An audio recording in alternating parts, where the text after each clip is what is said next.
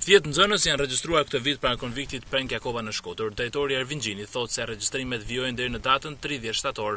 Konvikti Prenk Jakova ka hapur dyert për konviktorët, nuk ka përfunduar regjistrimet, sepse siç jeni informuar, Këshilli i Ministrave ka shtyrë afatet deri në fund të shtatorit Dhe deri me datë 30 shtator ne presim që të vinë dhe nxënës të tjerë të regjistrohen pranë konviktit tonë. Me vit i parë risi, domethënë sepse ka një shtesë të, të numrit të nxënësve dhe po preferojnë konviktin, konviktin tonë.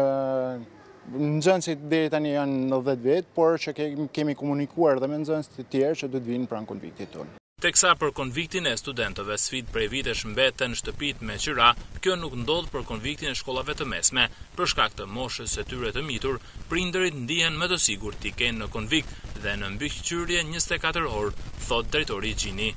Janë moshë minore dhe si minorenë prindërit kanë gjithmonë dëshirën që ato të jenë të kontrolluar dhe duke qenë se këtu ka shërbim njëzet e katër orësh, atëherë ato ndihen më të sigurt pranë konviktit tonë.